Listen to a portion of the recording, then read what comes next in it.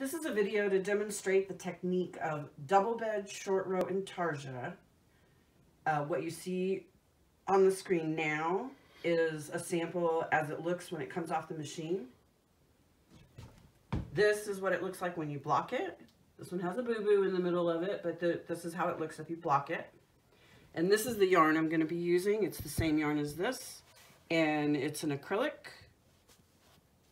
And I would say a DK weight or a sport weight.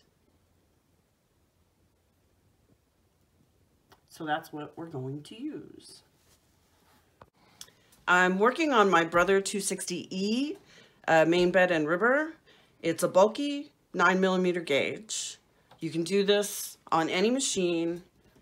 I'm using a one by one rib setup today, but again, you could do it in full needle rib on any gauge machine. It's just going to be easier to see if this is the setup we use. Hang on. I have needles uh, left 21 to right 22 on the main bed, left 20 to right 21 on the ribber bed. So my end needles are on the main bed. And I'm going to just go on do um, the cast on because it's never a bad idea to be reminded, especially if you don't use your ribber very much. So I'm going to do my zigzag row. I've got both my carriage tensions set at zero and everything is set for plain knitting. So I'm going to do my zigzag row. So I've got my ribber comb hung. I'm going to disappear down here for a sec and hang three of the big one pound weights. One in the center and one approximately at the end of the work on either side. So you got plenty of weight. Then you're gonna set your carriages to knit circularly so that you're knitting one row on the main bed and one row on the ribber, one after the other. And on the brother, that's one part button on the right and the left part button on the main carriage. And I'm gonna knit three rows. One, two, three. And then you're gonna set everything for plain knitting again. So undo those things and you do one more zigzag row. Now I'm gonna put my tension up to my on one on both carriages. So we've done our cast on, hung the cast on comb, got weights, zigzag row, etc. All that. We're ready. Now we're ready to begin the process of decreasing. We'll start on the left end of the bed and move all the way to the right end of the work. And I'm going to do an automatic wrap. Um, a manual wrap is much harder if you're working on a double bed because you've got your gate pegs and your needles and everything in the way. So it's much easier to do the automatic wrap but it just is a little more remembering. So I'm gonna add, also your carriage needs to be set and hold. There's the there's this lever on the brother that you push to H. That will hold any needles that are uh, pushed all the way out. And then on the ribber carriage, the levers on the side come down to one. So I'm gonna push this far left needle out and knit across. And then I'm gonna, well, not you, I'm gonna push this far left needle on the ribber out of work and you'll see when it knits back that it'll wrap itself. And so you won't get a hole in your work right there. So you just continue like this. Across the bed. Um, of course, this is something where you're gonna have to monitor your weight very carefully because uh, you're short rowing and so the shape is changing. It's not even all the way across. So after probably another couple of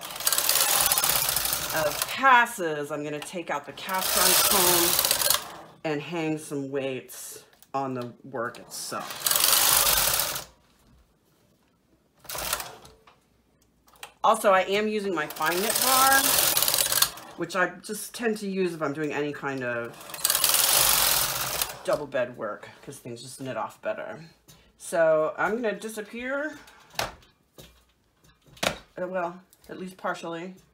I'm taking my big weights off and I'm going to pull out the cast on comb.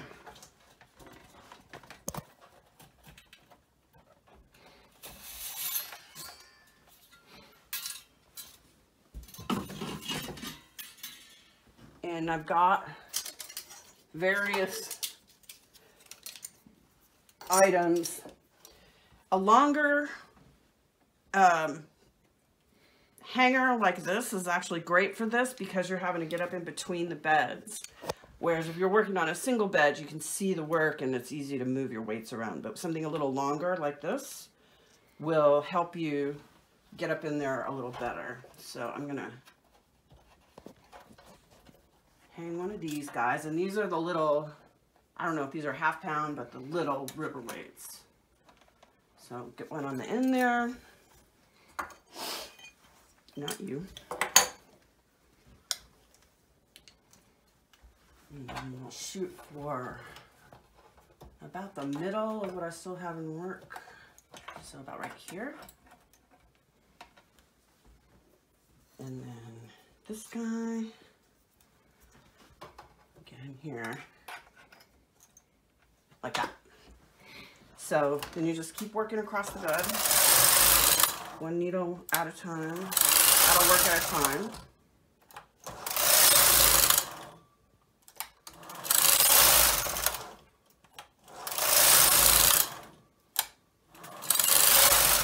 I probably need to get in here and move this guy. Uh, can get a little tricky. So you're going to want to use uh, yarn you might not mind messing up while you get a grip on this technique because you may tear your yarn with your weights. Uh, and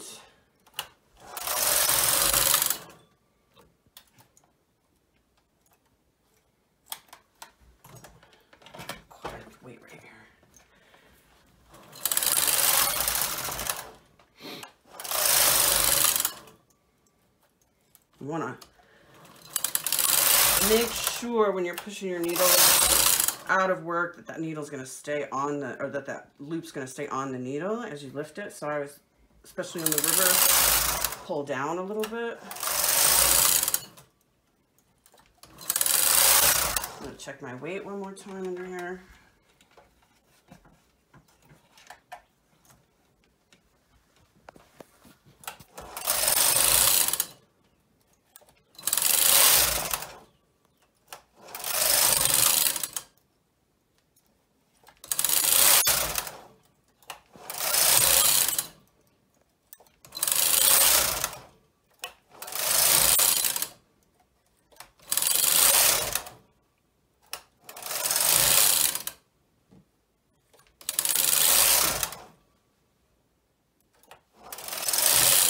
And, oops, let's just do one more.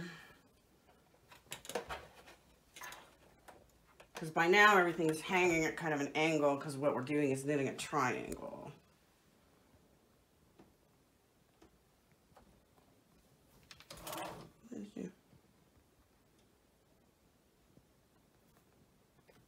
I'm not positive, so we're just going to back the carriage up. Put everything in um, put all your part buttons in and then you should just be able to get a free pass.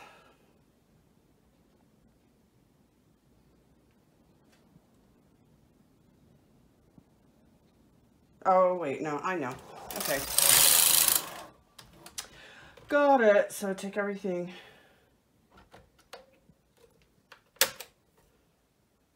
Everything back. Just Lost track of what I was doing.